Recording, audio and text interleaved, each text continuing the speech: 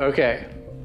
So what we wind up with is red oak flour is red and white oak flour.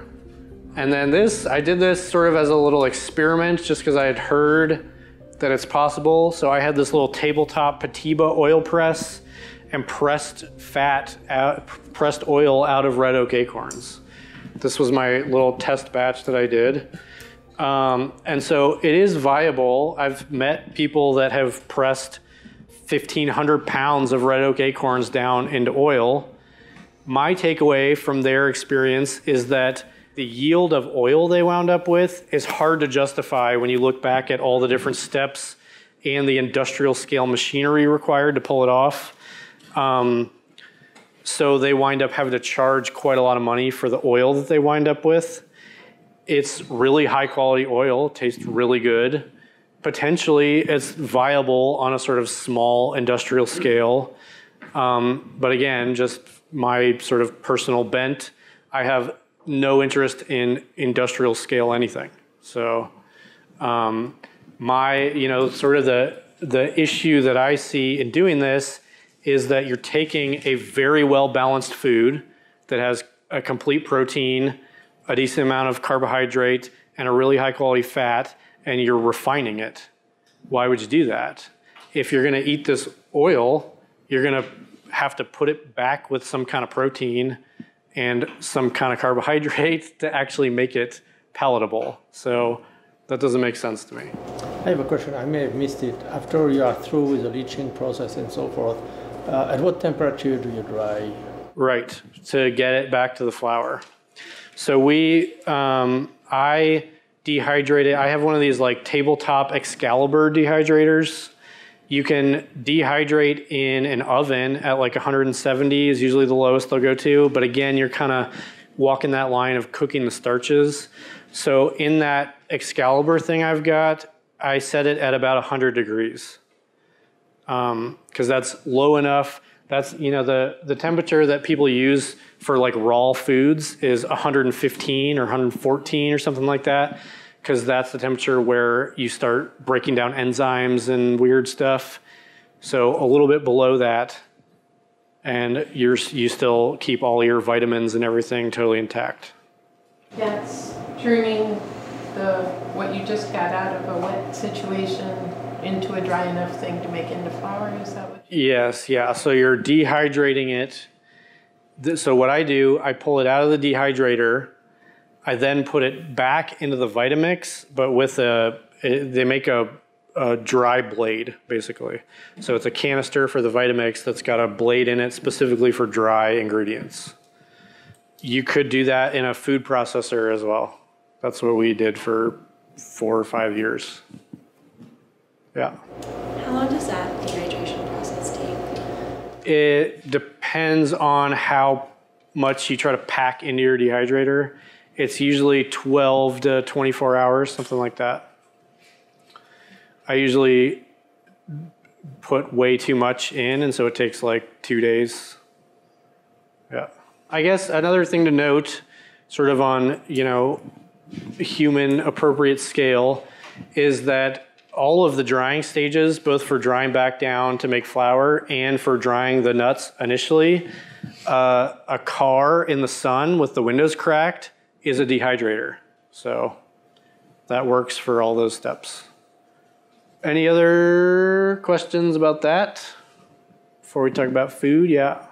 Just quickly, do you know anything about live oak acorns? Um, they're a different genus. Yeah, and so I don't really. I've met people that have processed a lot of them. There's this wild food author, Sam Thayer, who's he wrote, wrote this book, Nature's Garden, that's got 50 pages on acorns.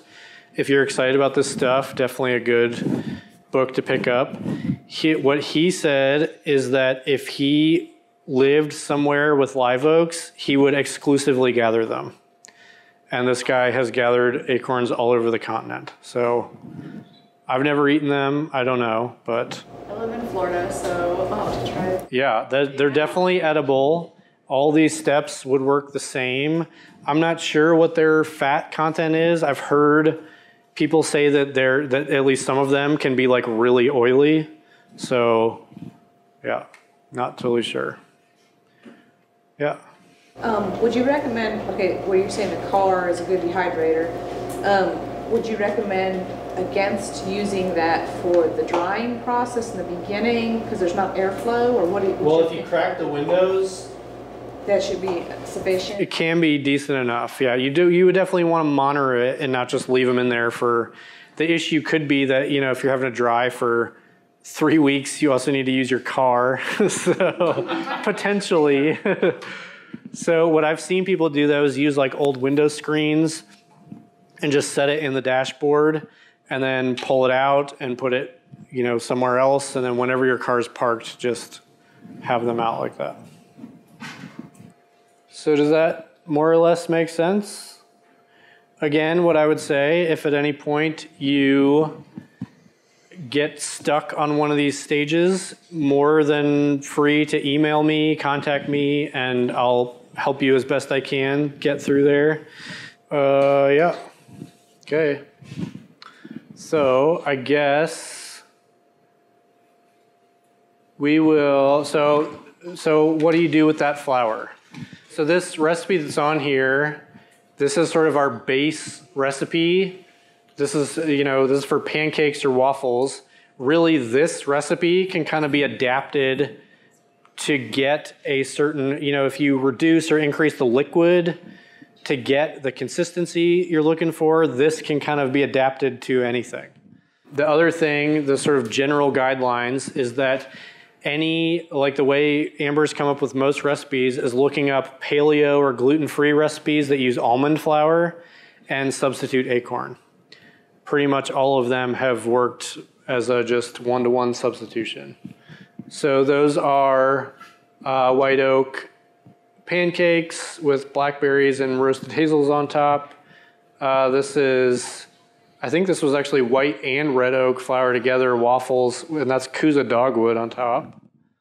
The thing that Amber sort of really got down and that we've sold for a few years is acorn cookies. Um, and so, so that's, you know, Amber is a skilled baker, so there definitely is, you know, acorns are not wheat. They definitely require a sort of different approach to things. But it is totally possible to make baked goods with only acorn as the dry ingredient that will hold together. Um, that's another one of the things that I've commonly heard totally false information spread about.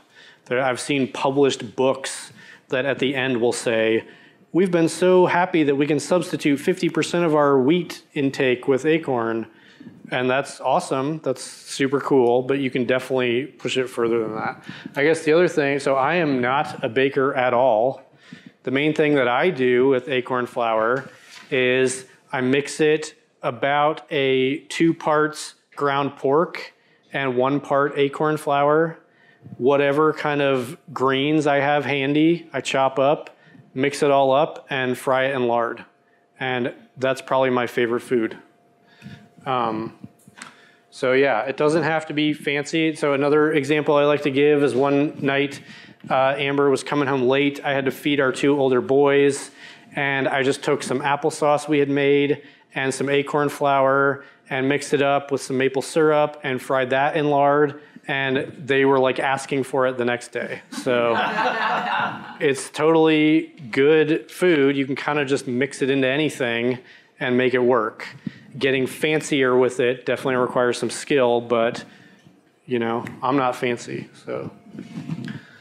Um, okay, and then this is, like I was saying, feel totally free to contact me about any of this stuff. I'm more than happy to help troubleshoot things or whatever. I'm also happy to, well, I guess we'll talk a bunch more about hazelnuts, but yeah, this is sort of our contact for all that stuff.